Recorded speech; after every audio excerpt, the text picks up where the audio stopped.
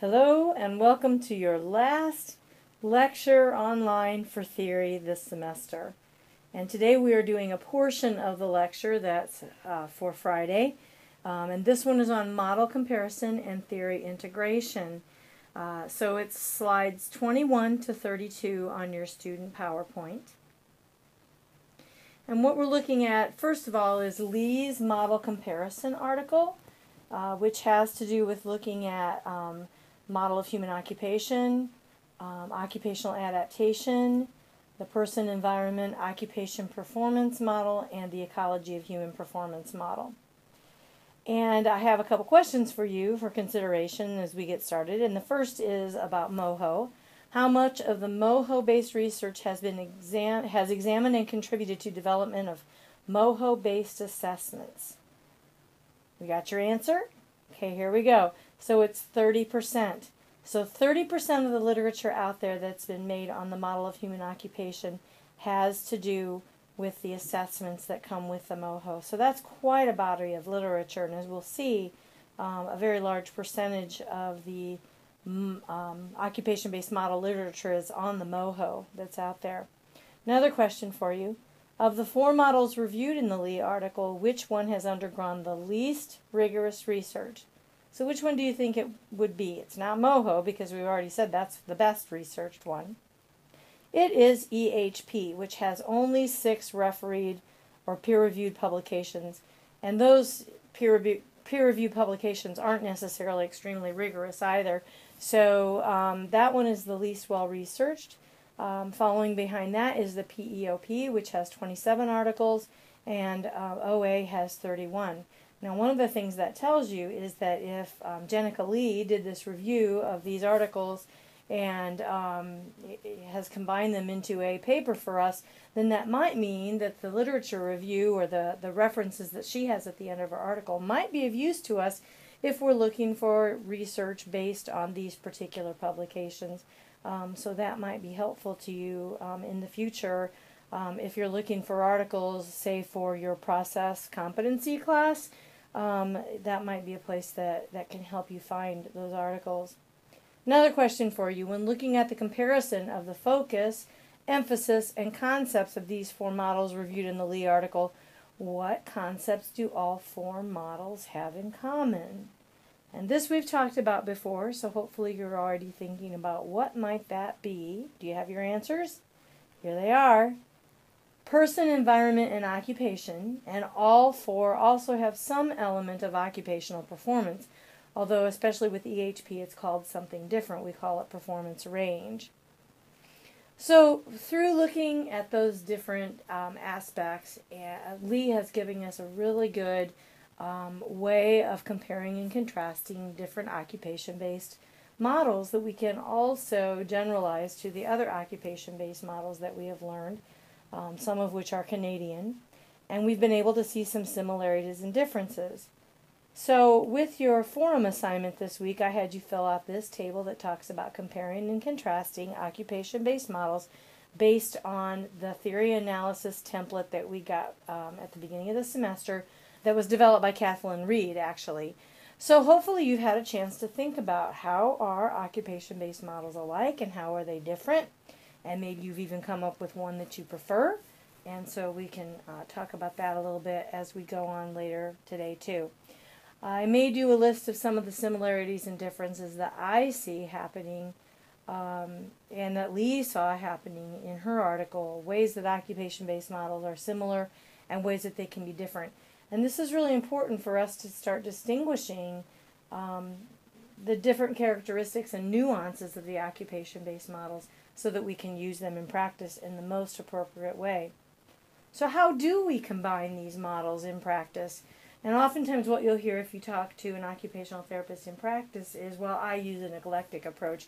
And a lot of times that can just be a cop-out, meaning I don't really know what theory I use. I just sort of use theory somehow, sometime. Um, and there's not really an established way that they're going about doing that. In fact, there really is no established structure for occupational therapists to combine theory and practice. So we have to think about how it is that we're going to do this. Moses Ikiugu, um, who I had the good fortune to meet last fall um, at the MOHO conference, um, developed a, a, an approach that he calls strategic eclecticism, which he borrowed from psychology. And basically, the idea is that it's okay to combine approaches as long as you're very, very aware of what it is that you're doing when you combine them. So, his method says that you first choose a theoretical practice model, or what he calls an organizing model of practice, that helps you deal with the client's primary occupational performance issues. So, say you've got a patient who's had a stroke and you want to look very carefully at the environment for that person because you know that in order to enable them to go back home again, you're going to have to be able to um, adapt their environment to their current needs. So, you approach them from an ecology of human performance perspective um, in selecting some of your um, questions that you will ask them during your occupational profile and in terms of some of the assessments that you're going to complete with them. So, this is your organizing model of practice. Then, as therapy continues, you might think, hmm, this person has some motivational issues that I'd like to address as well. So, I'm going to pull in a couple of MOHO assessments, uh, maybe pick my favorite one and and run it through with them and see if we can figure out what's going on in their volitional system that's impacting them this is then considered a complementary model of practice. Now, your um, organizing model and your complementary model of practice can change over time as that person's occupational performance issues change. But the more intentional you are about how you're approaching that and how you're shifting your own thinking in practice, the better off you're going to be in being aware of what it is you're doing with them and in the having a likelihood of using theory in an intentional way um, that gets you to your goal in the way that you want to get there. Now, you might ask, well, what does that mean then in terms of when I'm combining occupation based models and frames of reference? Um, so, one of the nice things about starting with the occupation based model is that that helps us to be holistic. We can look at the whole gamut of things that this person is facing and think about how can I approach this from an occupation based perspective to get this person to do the things that they want to do. But your frame of reference is going to come in and help you figure out what do you want to assess, how do you want to assess it, and it's going to help you with some goal setting. What, what how will I know when this person is is functional when they've reached the the uh, goals that I want them to achieve? So you're going to pull in a frame of reference. So, for example, with our person with the stroke, where we've looked at EHP and the environmental issues, and we've looked at some motivational issues through using a MOHO tool. Now I might also think, well, they've got some issues with, with their motor use. They've got some coordination issues, um, some uh, hemiparesis issues that we want to address through, through rehab. So now I'm going to take a motor learning approach and I'm going to assess them through task observation. And then I'm going to use some repetitive tasks in their natural environment using objects and portions of occupations of things that the person may want to do. So um, let's say this person likes to sew, um, but they're lacking fine coordination. What I might be doing with them is um, looking at a task that will help bring them to the level of sewing. So maybe it doesn't look quite like sewing. Maybe it's needlepoint because the needle is fatter, or maybe it's leather lacing, or something where they can still start with that pinch, um, but isn't quite as fine as what they need to do. So now I'm choosing a treatment um, aspect, a treatment approach that comes from a frame of reference, doing it within an occupation based perspective based on that model that I selected to start with. So, to combine the occupation based models and frames of reference, first we select our occupation based model, which is usually more implicit unless we're really wanting to engage the patient in that um, process as well, in which case we might use something like the Kawa model.